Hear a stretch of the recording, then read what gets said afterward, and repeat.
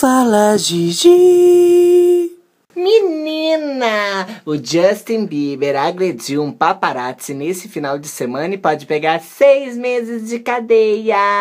Ai, eu quero ver o Justin Bieber cantando Baby, Baby, Baby pros machos alfa lá do cilindró.